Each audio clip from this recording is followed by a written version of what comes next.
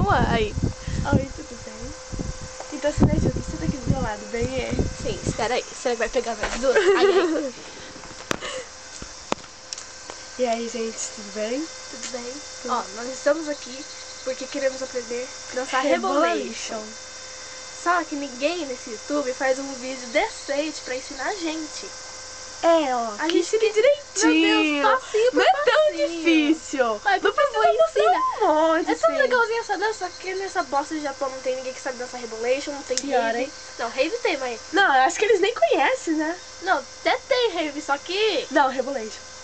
Não, rave tem, mas dançar Rebolation os japoneses não Não sei. são burros. Bom, Então. então mudando de assunto, Então, Tá. sabe da jabuticaba? não, né? Então, vou falar. Jabuticaba deve ser uma fruta feliz, né? Por quê?